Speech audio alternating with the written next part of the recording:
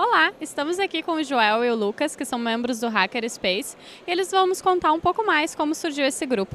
Joel, como é que surgiu esse grupo, desde quando ele existe quais as atividades que vocês desenvolvem hoje? O Mate Hackers começou numa discussão que vinha se dando na internet há mais ou menos há um ano e meio, né? e nós finalmente conseguimos uma sala em novembro do ano passado, e então aí nós chegamos ao ponto de massa crítica suficiente para começar umas atividades bem legais, assim. Hoje nós temos oficinas de hardware e software, nós temos uh, várias atividades que nós desenvolvemos ao longo do ano. Nós fomos sede aqui em, aqui em Porto Alegre do Hardware Freedom Day, do, do Culture Freedom Day. Vamos ser sede ainda do Software Freedom Day, junto com a Casa da Cultura Digital, nesses eventos. Né? Estamos participando hoje do FISE, participamos do FreeSol, uh, desenvolvemos uma série de hardwares e, e, e softwares que podem ser encontrados no nosso site.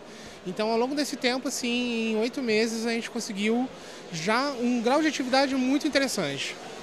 Tá bom. E Lucas, tu que estuda então esse tema dos hackers e crackers, tu pode explicar pra gente essa diferença? Bom, o que aconteceu é que desde quando começou a ser usado o termo hacker, ele estava associado a indivíduos que seguiam, que pegavam artefatos geralmente tecnológicos e não usavam eles apenas para o propósito entendido, eles usavam eles de maneiras diferentes, modificavam eles, conseguiam usos diferentes, criativos e e obviamente esse tipo de pessoa mexia com todos os tipos de tecnologia, desde programas de computador até o primeiro eles tinham um clube de que eles montavam trens de miniatura.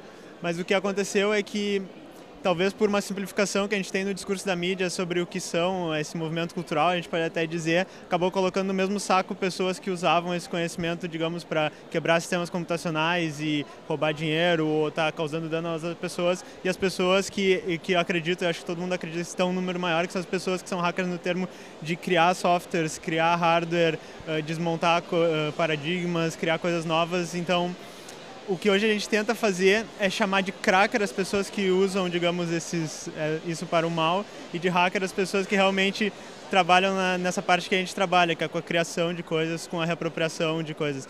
E o fato de a gente se chamar Hackerspace, chamar o nosso grupo de Mate Hackers e dizer que a gente é hacker com orgulho é parte desse movimento pela tomada de volta dessa palavra.